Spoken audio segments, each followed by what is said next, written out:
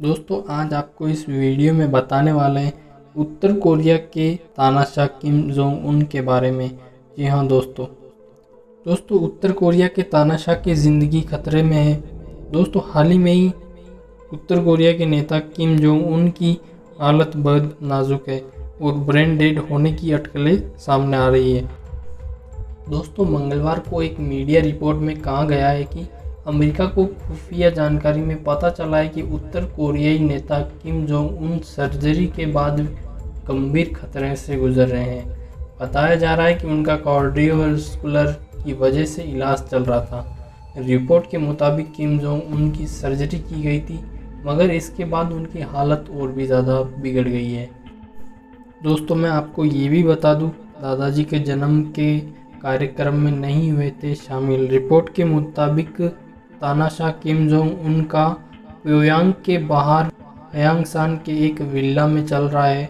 Kim Jong उनको लेकर अटकले और तेज उस वक्त हो गई जब वे देश के स्थापना दिवस और स्वर्गीय दादा के 108वें जन्मदिन पर होने वाले कार्यक्रम में भी 15 अप्रैल को दिखाई नहीं दिए थे।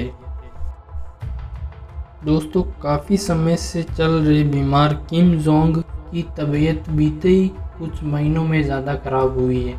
इसकी वजह यह है कि बहुत ज़्यादा स्मोकिंग मोटापे की बीमारी और ज़्यादा काम करना। सीएनएन के मुताबिक नॉर्थ कोरिया के मीडिया में अब तक किम जोंग की तबीयत को लेकर अब तक कुछ भी प्रकाशित नहीं हुआ है। इसकी वजह यह है कि वहाँ की मीडिया पूरी तरह से सरकार के नियंत्रण में है। यही वजह है कि यहाँ से सूचना का इतना जल्दी आना बहुत मुश्किल है।